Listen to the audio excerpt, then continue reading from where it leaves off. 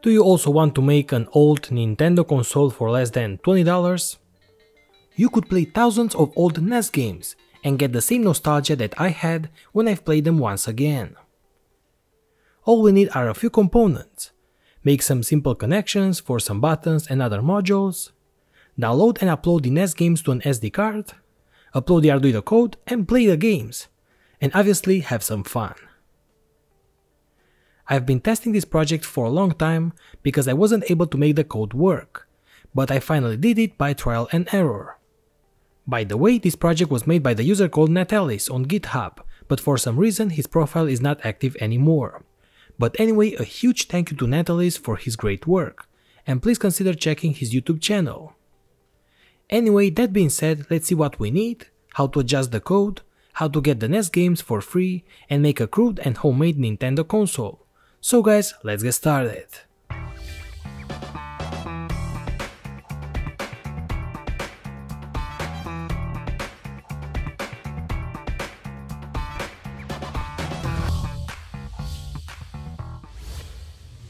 My new project was requiring some flexible PCBs, and PCBWay was the right solution for that.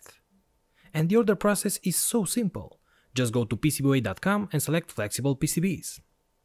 Upload your Gerber files as always and select your settings directly on their website. You also have the option for rigid flex PCBs if you want, and other settings for the color, the thickness, the gold immersion and so on. I received my PCBs in just a couple of days and they look amazing. The tracks are very small but even so, PCBWay did a great job and they have capabilities that go even lower than that and you could check them on their website. So try yourself their services for flexible PCBs like mine, and like that you can complete your awesome project. And check more for other services for prototyping PCBs, automatic assembly, SMD stencil and much more on PCBWay.com. What's up my friends, welcome back. I've made this project on a breadboard because it was a total headache to make, so I had to make a lot of trial and error. But don't worry, I'm working on a PCB as well, so it will look a lot better and be easier to assemble. Anyway, let's start and see what we need. The main part running the code is an ESP32 microcontroller. But to make it easier to program and so on, we use a development board with a USB connector like this one. This will cost you only 3 to $4 on AliExpress. Next we need a TFT display and this costs you around $3. I will use this one that is based on the ST7789 IC. And here is where the problem started. Because all these screens are based on the same IC, and they look kind of the same. As you can see on the back they use the same IC, but sometimes it's a second version. But from all these the only one that works is this one here, and it took me a while to realize, and I was already getting frustrated. Some displays have the chip select pin, and some others don't. Some will have 240 resolution, and others will have 280 and so on. So have in mind that this is the one that worked for me, so make sure that you order the same. The links are below. Next we need an SD card reader like this one, and this will cost you around $2. It could be both the micro SD card reader or the normal SD card because the pins are the same. And together with this we also need an empty SD card to put the games on it. And then for the sounds we need this decoder, that is based on the PCM5102IC, and I bought this with $5. And to this module we can add some headphones. Or even better we can solder a small amplifier with a speaker like this one, so you should also order this as well. And finally we need 7 push buttons, 7 10k resistors, a 100 nanofarad capacitor, some wires and a breadboard to make the connections on it. But if you want, you could also solder everything on a prototyping PCB like this one and make it more permanent. Remember that you could get the design for such a prototyping PCB from my website and order it at PCBWay. Okay, so now we have everything that we need, so let's assemble it. The original schematic was something like these two circuits. But this one didn't work for me, and it was very difficult to follow the lines where each connection will go. So finally the connections that I've used are this one here. For some reason if you use any other pin for the push buttons for example, the code won't work. And I don't know why, but after weeks of trial and error and getting frustrated, it finally works. Also, if I remove the 100 nanofarad capacitor between ground and the CS pin, the screen will get crazy and even stop working. And another error that I've noticed is that sometimes the start button does the same as the left button, and I don't know why neither. Anyway, connect everything on the breadboard or on the PCB like in this schematic. The MISO and the MOSI pins for the display must be the ones that I've used, otherwise it won't communicate with the SPI port. Okay, so now let's take a look at the code. If you scroll down, you will see that first we need to install these two libraries.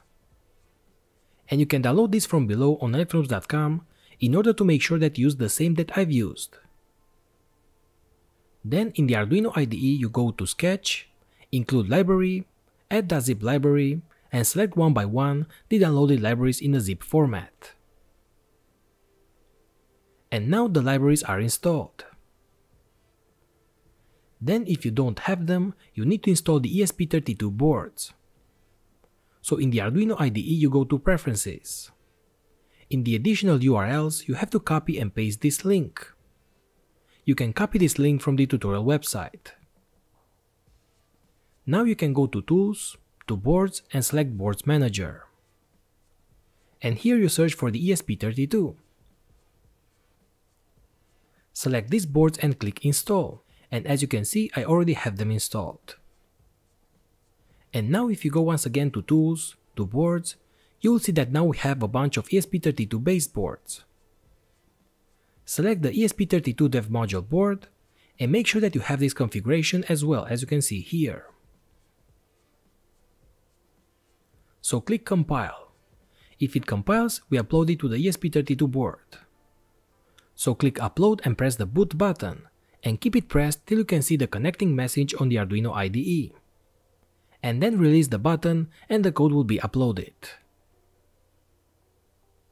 If you pour on the console at this point, you'll get the SD card fail message. And that's because we have no games inserted. So for that we go to this website and search for any game that you want. Download the NES file. Then insert the SD card into your PC and make sure that it's empty. Create a new folder and you have to call it NES like this.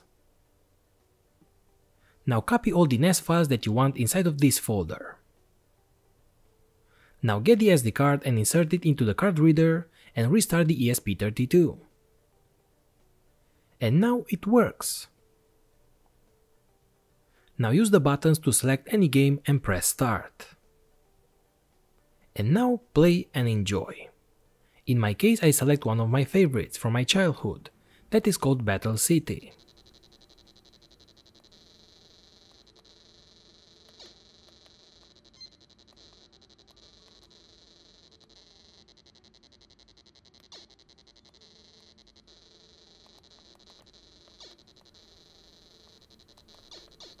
Now let's try the old school Mario game.